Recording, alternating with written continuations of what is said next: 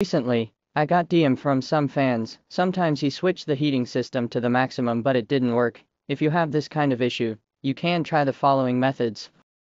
First, check if the air conditioning filter in the glove box is dirty. If dirty, it needs to be replaced. Secondly, check if the antifreeze liquid level is under normal line. If the antifreeze level is too low, we need to fill it up. Third, we can touch the two water pipes behind the engine. If the temperature differ widely in the two pipes, it's caused by damage of the internal heating water tank. We should go to the auto parts repair shop to replace it. If you like this video, please follow me.